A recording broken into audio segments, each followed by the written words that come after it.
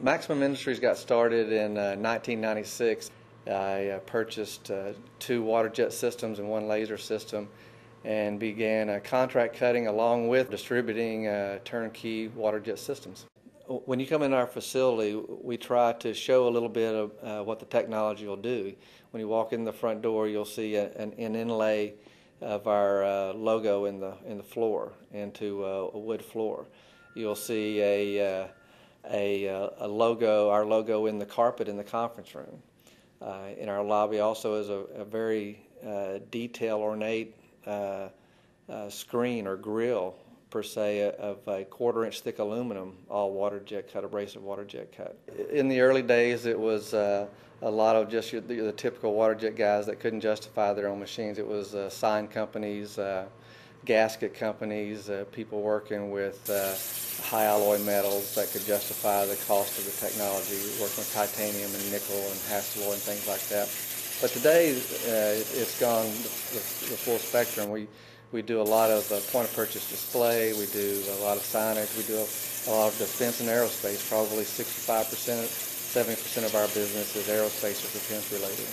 Water jets will cut anything, uh, virtually anything. So you got to know what it's going to cut profitably. Things that aren't perfectly flat uh, or trickier to to maybe fixture and jig to be able to, to cut. Uh, so there, there, there are some issues uh, with setup and things that maybe you can't justify or can't cost into the job enough to, to justify doing the job. The thicker materials, uh, water jets start to take over the economics.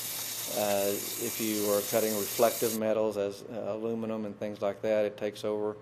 Uh, so anything that is has resin in it, has is a foam product, uh, is reflective, is thicker.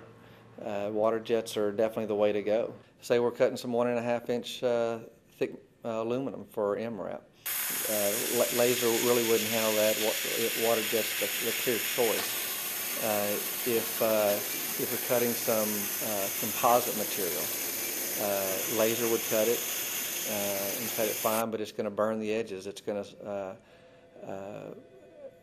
how to describe it. It's going to uh, uh, give off fumes. It's going to burn the fibers.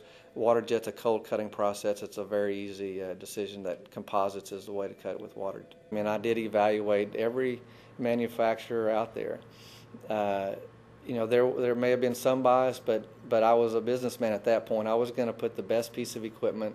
Uh, in the facility that I knew was going to give me the best available uptime, was give, give me the lowest operating cost, and uh, so you know, KMT, you know, I felt very comfortable with the, the, their service, their uh, their product design, and uh, you know, it, became a pretty easy decision when, once you got down into the nuts and bolts of it.